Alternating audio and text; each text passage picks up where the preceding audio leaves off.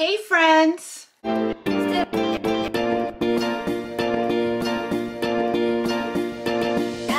to my channel, welcome back if you're an old friend. My name is Desiree, aka Momma Friendly, and I do all kinds of videos on this channel. I do vlogs, planner videos, cook with me videos, hauls and try-ons like you're about to see, all sorts of things everything really. So if any of these things sound like fun to you, I hope that you'll subscribe, come on back, join me on my little YouTube adventure. So as I said, today's video is a haul slash try on. It's my second Stitch Fix of this term, I guess, because I did do Stitch Fix many, many years ago. I was not impressed. If you'd like to see that original fix, I'll post a link to that up here. In the last couple of years, I've done a lot of Dia & Co unboxings. And if you look up here throughout the video, you're gonna find more of those types of videos, probably a playlist, etc. So keep your eyes peeled. But with things like Dia & Co, Stitch Fix, obviously, plus size fashion has come a long way in the last few years. The industry is kind of, sort of waking up to the fact that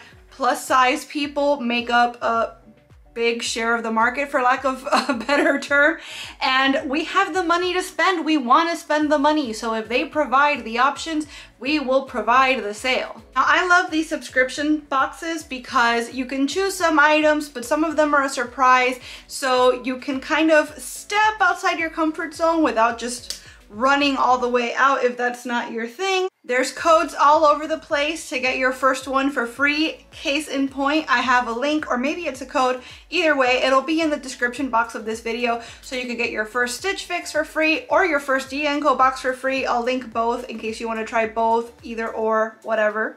But the idea behind these types of boxes is you typically do a quiz when you first start out so that they can find out your sense of style, the places you want to use these clothes, like maybe you're looking for more business attire, maybe you're looking for more casual or date night type stuff, etc. They also find out your measurements and your sizes and your preferences for the type of clothes you want to wear and how you want them to feel on you. So if you prefer maybe looser tops, if you prefer to show your midriff or not at all, or show your arms or not at all, all of those things are covered in the style quiz so they can get to know you and what clothes are going to suit you best or suit your likes best. And then every month, every two months, your choice. They send you a box typically with five items. You try it on, you keep what you like, you send back what you don't. In the case of both Stitch Fix and Dia & Co, the styling fee is used as a credit towards whatever item or items you keep.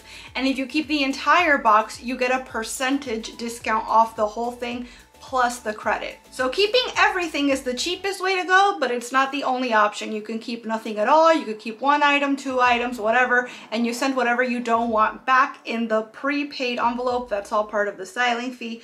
So it's a lot of fun. Even if you keep nothing, it's a small fee and you get to break up the monotony of your day by trying on a bunch of fun clothes that you otherwise wouldn't have even thought to pick for yourself. Now the way I do these videos is I like to tell you first off, I am a 1416 on top.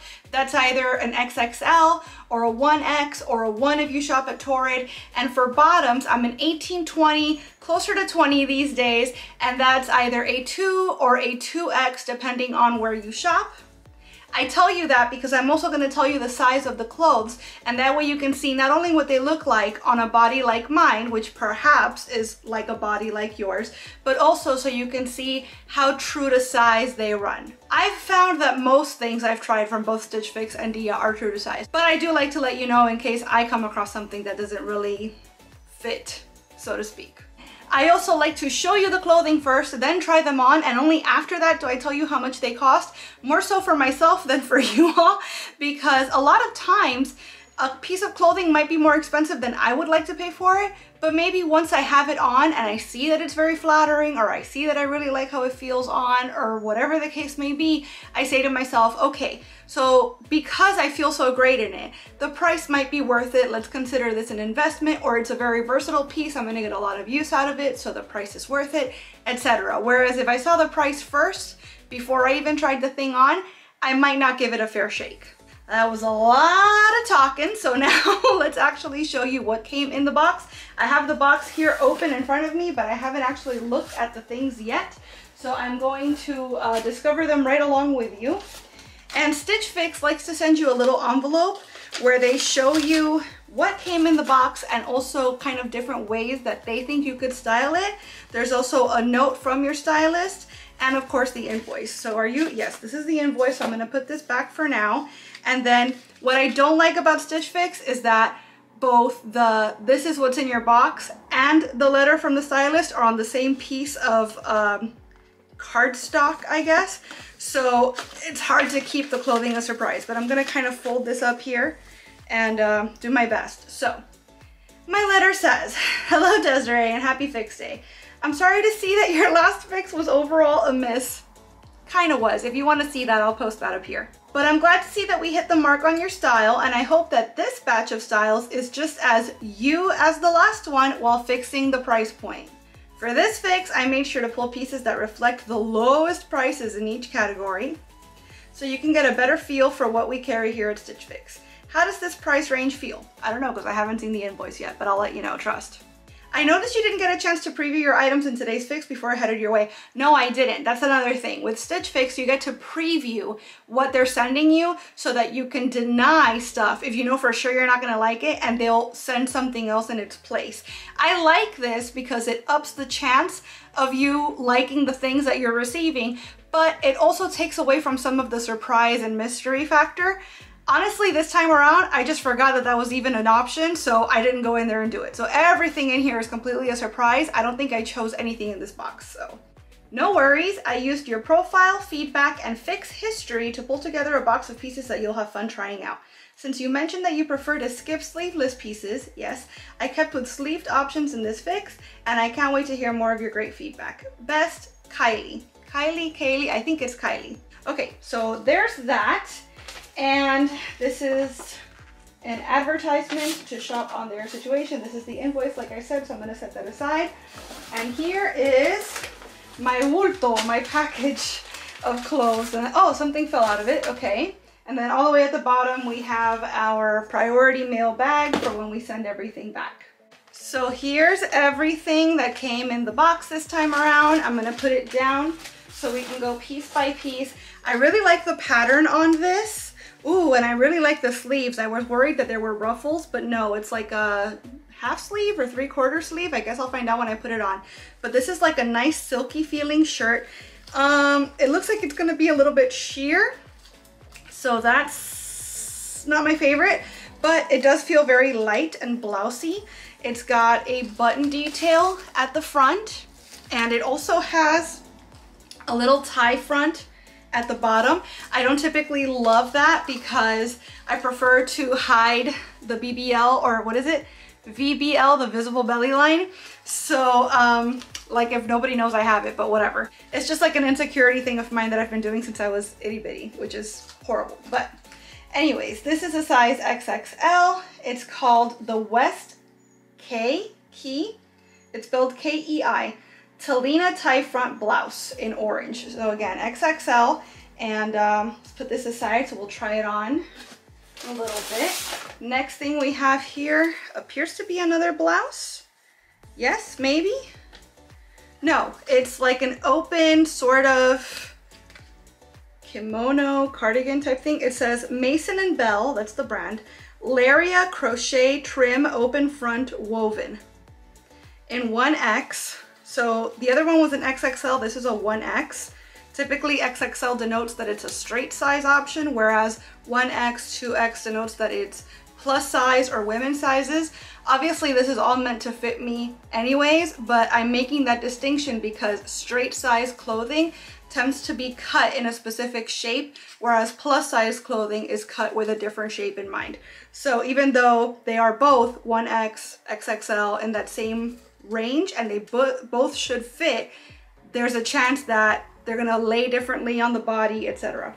So this does have little crochet sleeves, which is nice. This is definitely sheer. It's also that sort of silky kind of feeling material like the blouse was. I really like the color and the pattern is much more cottage core, which is the thing now. So that's pretty. That could be cute with like a black tank maybe or some sort of a tank and like some denim shorts. So that that's kind of the statement piece. Speaking of a statement piece, what is this? This is a dress, it seems like. Yes, it's like a maxi. Yeah, it is definitely a maxi. It's very long. I love florals on a dark background, but I prefer my florals to be smaller patterns.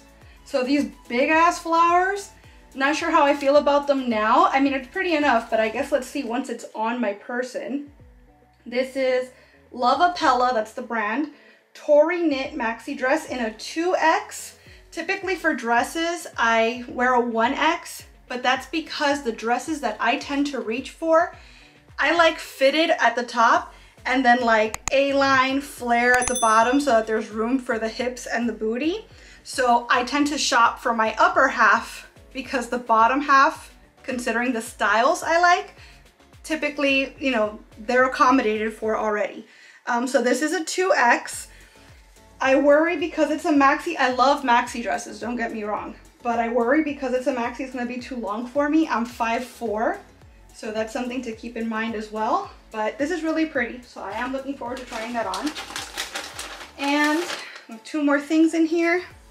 This feels very soft, like a jersey material, but very, very soft. Market and Spruce, 1X, Elaine Pocket Front Knit Tee. So it's just like a plain, like heather black tee. That's really, really cute, actually. I'm sure it's gonna be more expensive than I'd like to pay for it, but it's definitely my style. It's a plain black tee, and I like the material, the feel of it, so there's that. And lastly, denim shorts. I love shorts, but I typically stick to Bermudas because chub rub is real. And, um, oh, okay, funny enough, this is called the walking short, which makes me think that it is short, but long enough to avoid chub rub while you're walking, I hope. So they're an 18W. Liverpool is the brand. Caden cuffed denim short in indigo. Yeah, so it doesn't look like Daisy Duke-ish, but I got a lot of butt and I feel like this is gonna get filled with butt real quick. So it appears to be, I'm gonna guesstimate probably like a five inch inseam. I typically go for like nine. So curious to see how these fit. That's the last item in the box. So the next step is let's try things on, shall we? Oh friends, I am growing concerned. Why? Because I typically like to get these boxes because it's like I said earlier, it's 20 bucks and you know, you get to try things on, have some fun, but I'm not trying to spend loads of money and I worry based on this first outfit that um, I might, I might spend loads of money this month. So here's the black tee and here are the shorts, which I know I'm short and I know that it's hard to get everything in frame, but I'm trying my best here. I am so impressed with the feel of these shorts. I am so impressed with the length on them. I really did not expect them to hit where they do. They're slightly shorter than what is usually my comfort zone, but not in a way where I'm like uncomfortable, if that makes sense. They're definitely a good length to avoid chub rub, which is required. And as far as the sizing, I did say it's an 18W and I did say that these days I'm closer to a 20. So they fit, they close fine, they're good. I feel a little tiny, not huge amounts. Who else would do this on camera for the internet? Not huge amounts of like spillage or muffin topping, but enough, enough where I can tell that it's happening. So depending on the price, because I am actually thinking I might keep these, depending on the price, what I might actually do is exchange these and size up to a 20 if they're available, but I really like how these fit. I'm really liking these shorts. And then the t-shirt, again, it's a plain black t-shirt. I like the sleeve length. I like the length itself. I like how it fits on the body. I love the color because it's black, but because it's like a heather black, it's not super harsh. Perfect, perfect t-shirt. So yeah, I'm really, really liking this outfit. And actually, I did say that this would go good with like a black tank or black something. So let's go ahead and put this on as well while we're here. Oh my gosh, my hair's caught in the tag. All right, so there's this. I went through a phase like three summers ago maybe, where everything I wore all day, every day were these kimono type things with a tank top and Bermuda shorts. And I called it my Jurassic Park Wrangler look because I literally looked like a zookeeper. But I loved it. It was the most comfortable thing and I legit spent all summer in some version of that outfit of those three pieces. I don't love this one though. The crochet is cute, but I feel like between the crochet and the pattern, it feels very matronly. It feels a little too old for me. Now, full disclosure, I am in my mid 30s and um, I do, not gonna lie, I dress younger than my age probably. I think that's like an elder millennial thing. But just because I am older doesn't mean I want to look older or dress older. So this is cute for like an on the rack type thing, but on my body, not my favorite. So now that we have tried things on, let's go ahead and find that invoice and let's see what we're working with here because I do really like these shorts and this shirt. I didn't see what each individual thing just cost, but I just saw the costs and that hurt my insides a little bit. So let's find, okay. Center yourself, Desiree. So Liverpool, Caden cuffed denim short in indigo, 18W. The shorts are $58. Ouch um, with the $20 styling fee credit towards them, they'd come out to 38 and that's doable. The way I always look at it is those 20 bucks are gone. So yes, it is still a $58 short, but it's either I pay 38 and come away with shorts or I don't at all and then I just lost 20 bucks, which I didn't lose it. I'm getting the experience, etc. But you know what I mean. So the shorts are 58 bucks. The crocheted thing, the maxi, no, not maxi, crocheted something or other. It doesn't say the whole name of it here either. Mason and Bell Laria Crochet Trim Open Front in mint. It's a 1X and it's $44. I guess that's fine compared to like, you know, Lane Bryant prices. It's about the same. It's what you'd expect to pay there. Um, I don't love it anyways, so that's fine. And then this is the Market and Spruce Elaine Pocket Front Knit Okay, and it's, it just cuts off there.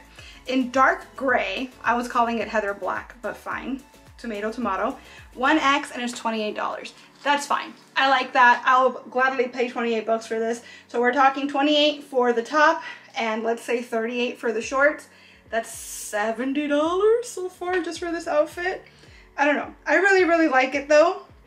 So yeah, I'm deep, definitely considering it. Um, honestly, what's gonna, I think I'm keeping the shirt either way because I really, really like it. The shorts are gonna depend on can I get the exchange because I do think I'd be more comfortable with a size up. These fit fine.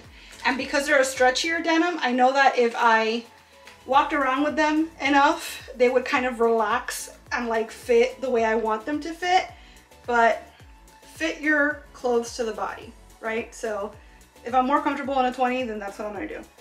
So we've got, what else? We have this blouse, which I guess I'll try on next. And then we'll save the dress for last because then I can just take off the shorts and do the dress. Hold please. Okay, so here's the other top. It turns out it does not have sleeves at all. They're basically like full sleeves all the way down. I do like that little tie up detail, but there's a lot of gapping with the buttons, which that's already like that's not gonna happen because I feel like if I wore this I'd have to wear a tank or something underneath and that defeats the purpose because I feel like this is meant to be a breezy summertime shirt and that you know it's no longer serving that function if I have to layer it with things. Um, the little tie front thing is fine. I thought it was gonna be shorter and it's not as short as I expected, but the style just overall feels very boxy to me. I feel like it makes my torso feel super short. Um, it's just not flattering. Nothing about this shirt is a win for me. The color, I guess, I don't know, I kind of feel like it washes me out as well. I like the pattern and like this style of pattern, but there's a lot of things stylistically wrong with it that like there's just no saving this as far as I'm concerned. So this is definitely going back. This is the, what are you?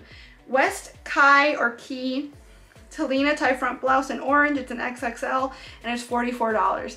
again, if this is the sort of thing you like to wear, I could see this shirt at like Elaine Bryant, for example, for $44. So the price point doesn't shock me. Um, is it worth it? Yeah, if you really like the style and you really like how it looks on you, sure, it's worth it. I don't on both counts. So yeah, definitely going back. So before we move on to talking about the dress, I just wanna say I did need help getting that last blouse off because the way the material was set up, I felt like if I just pulled it off, I was gonna end up like ripping it. So I had my mom kind of peel it off me. And before she did, she was like, that blouse is so pretty. I really hope you're keeping that one over the black one because that is so nice. When I felt like legit the exact opposite. So here's the dress. I really like this. I have zero need for a dress at this time. Um, as far as the maxiness of it, it is touching the floor. Like I would need, I'm sure you guys are not gonna be able to see this now. I'm trying to pick up my feet so you can tell, maybe perhaps. So you can see it's covering my feet completely and it does the same thing when I stand straight up. So this is something that I would either need to get hemmed or I would need to wear very tall shoes with it. I lost my ability to wear tall shoes when I had my son. I used to wear platforms like this tall, no problem. And now if I wear anything that's like higher than a wedge, I just feel like I'm gonna fall over. I also have tendonitis in my ankles. It's a whole thing. I wear sneakers everywhere I go because my feet are super screwed up. So tall shoes are not, thank you traffic noise, tall shoes are not gonna be an option. Sneakers are not gonna be an option with this dress. So unfortunately, yeah, if it was like midi or even knee length, then I would be super down because I love how it fits here. I love a surplice neckline. I love the sleeves and the sleeve length. I love a floral on a dark background. If you've seen any of my Dia videos, you already know this. So this is really, really nice, but the length is kind of a deal breaker and I could get it tailored or hemmed or adjusted or whatever, but depending on the cost, do I really want to put forth that extra effort and that extra cost to do that? Let's find out. This is the Loveappella Tori Knit Maxi Dress in black. It's a 2X and it's $78. It's a beautiful dress. I could totally see this dress at Torrid or Lane Bryant or thereabouts for $78 and it would make sense for that store's price point. I don't, hmm, I don't know. I don't think it's worth 78 bucks. And something else that I did mention again, the flowers on the on the black or like even dark blue, you know, just dark backgrounds generally, I love. But I don't love these big ass flowers. If they were more, like if they were smaller and there were more of them, so it would be more scattered throughout, so we wouldn't just have this like big blank spot here, and then this, it just feels very like bleh, and there was no thought to the pattern. They just kind of chucked flowers on there wherever they landed. I don't know. It feels, yeah, like they didn't put very much effort into it and I feel that. So unfortunately, this is very close to what I would consider a win, but it's not quite there. Maybe it goes against the big girl rules of fashion, like I care, but smaller patterns, please. Also, I really love stripes, especially horizontal stripes, speaking of the big girl uh, rules of fashion. But yeah, this pattern specifically, don't love. The cut of the dress, except for the length, mwah, perfect. So, that's gonna do it for this stitch. I'm almost certainly gonna keep that black shirt, even though my mom was like $30 for a t-shirt, that's crazy. And I kind of agree with her, but I just really like how that particular t-shirt fits. And the shorts, if I can get them exchanged to a bigger size, are for sure staying as well. Everything else I was lukewarm about at best. I'm most disappointed about the dress because I really, really do love the cut of the dress. I think especially up here and then the way that it cuts in here and then drops, absolutely beautiful, super flattering. I love the material. I love the idea of the pattern, but it was just too many strikes against it plus that price for me to give it the, the thumbs up. But I am overall more pleased with this stitch than I was with the last one. So we're on the right track. What do you guys think? Is there anything that I'm sending back that you think I should keep? Is there anything I'm keeping that you think I should have sent back instead? Let me know in the comments. If you've done Stitch Fix in the past or if you're doing it right now, I'd love to know how you feel about the service. How much do they get you, you know? How likely are you to keep things when you get your box? Because I'm still rather new at this, so I'm still trying to like find out, especially from a plus size perspective, because if you're straight size, think you know it's a lot easier for you to find options for clothing and you know just it's a it's a whole other world if you're plus size. So if you're plus size doing stitch fix let me know how that's gone for you please. And as always i want to thank you all so much for watching this video. I really hope you enjoyed it and if you did i hope you'll please give it a big thumbs up. I'd also love it if you would subscribe and click that notification bell because i post at least three times a week and i wouldn't want you to miss a minute. Thanks so much again for watching. Bye